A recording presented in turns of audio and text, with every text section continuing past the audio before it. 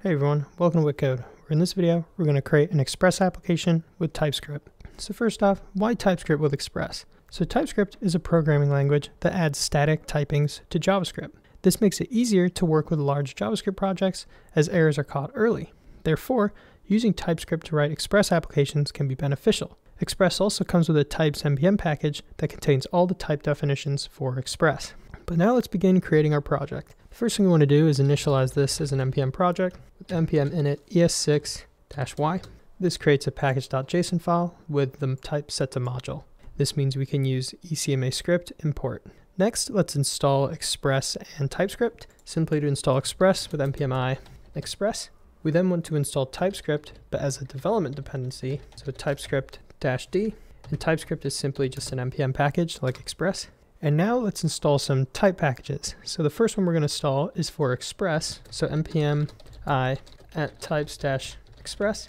And what this will do, I actually install this as a development dependency, dash d, but this library here will add our typings for Express so we get useful autocomplete and just all the typings that Express provides. And we also want to install some typings for Node. We can do that with dash d as well as a development dependency. But so we have TypeScript and our typings installed, but next we need to configure TypeScript, and we do this by creating a tsconfig.json file. The tsconfig.json file indicates the root of a TypeScript project and is used to configure the TypeScript compiler.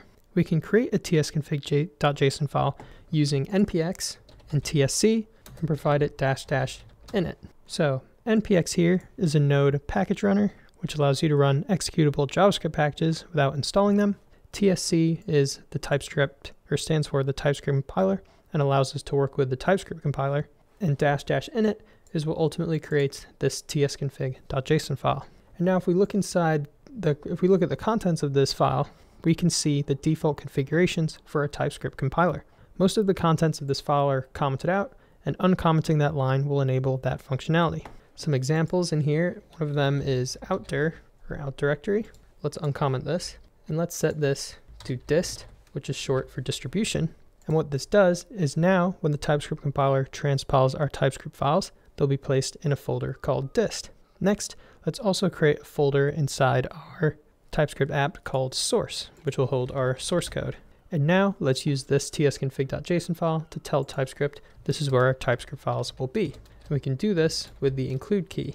And what this key here tells TypeScript is it tells the TypeScript compiler to compile every TypeScript file inside the source directory and its subdirectories. And now let's also use the folder we want, or let's let TypeScript know what we want it to ignore. This is our dist folder and also node modules. Note that these also, I believe, are relative to this include, so we don't really need these here, but I always just keep node modules and dist anyway. And now something that's important to do is as we specified our project in package.json to be using ECMAScript by setting the type to module, inside tsconfig.json, we need to set module here to not CommonJS, but node next. And so this module key right here sets the module system for the transpiled JavaScript files. Sending it to node next essentially means that we can use both CommonJS and also ECMAScript. We specifically are going to be using ECMAScript, but so it's important that we don't have this as CommonJS. But now all we need to do is create an Express application. So let's call create index.ts file and then let's just import some Express code. I'm just going to paste it in here. And what we can see right off the bat is we can have some handy typings. So now if we're typing in here, say we do, if we access the request object and we do a dot, we can see all the properties thanks to TypeScript. We can also set the type of them here. Let's just reset this. So now we have our Express app up and running, which basically just re receives, listens out for GET requests to the main route, and then responds back with the headers, or responds back saying hello words, hello world, just access the headers, and listens on port 1234. Now let's create some package.json scripts to help run and also build this application. The first one we're going to create is a clean script. So inside scripts, we're going to have clean. And what this will do is remove our distribution folder and all its subdirectories. This will be handy when we want to rebuild TypeScript or rebuild our project with the TypeScript compiler. And now let's create that command to build it. We're going to call it build just like this. So now if we run npm run build, so say in the console we run npm run build, we'll remove our distribution folder and then run the project with npx tsc. Also note that if you're on Windows, this might this command will probably be a different. I believe it's rmdir, and I think the flag might have to be different as well. But for this, we're just going to stick with Unix. But let's just actually try this command out. So if we run npm run build, we can see our distribution folders appeared, and it contains our index.js code, which is our Express app. And now let's say if we run npm run clean, we can see it's been removed. But now let's work on something to work with our code in development.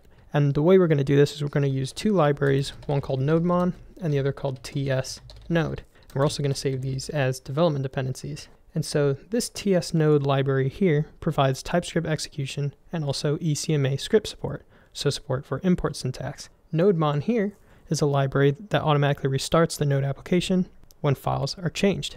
And we can use these two to add re live reloading to our TypeScript application. And we're going to do this with a script called start. And what we use is nodemon, this exec command, which allows nodemon to monitor other applications, or sorry, other programs, which for us is going to be node with the TS node loader. So this basically tells node to load modules with TS node and ECMA script. So this will allow us to run a TypeScript project. Specifically, we're going to start running our index.ts file. And because of nodemon, we'll have some live reloading changes. So now let's just hope this works. Let's run npm start. We get server listening on port 1234. Now let's send a curl command. So if we can do curl localhost 1234, we get back hello world. Now let's do some live reloading. Let's say hello world, how are you doing? And we can see it recompiled and we have server listening 1234 again. Let's do another curl and we get these changes. But so this is all it takes to create an Express application with TypeScript. If you have any questions, leave them in the comments. I'll try to get back to you. But besides that, I want to thank you for liking and subscribing today. If you wish to support me, please consider downloading my Chrome extension WittCepter from the Chrome store. Um, besides that, uh, thanks again for watching. Have a good one.